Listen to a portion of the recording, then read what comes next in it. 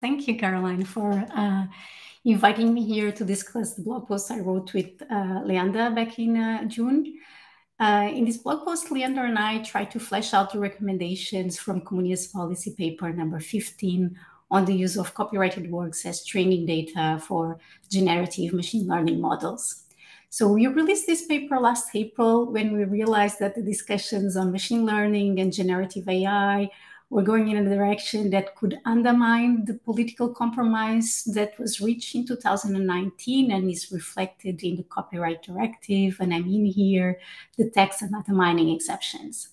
So just as a reminder, these copyright exceptions allow both mining for a public interest activity, which is scientific research, and uh, for and also mining for other activities, including commercial activities.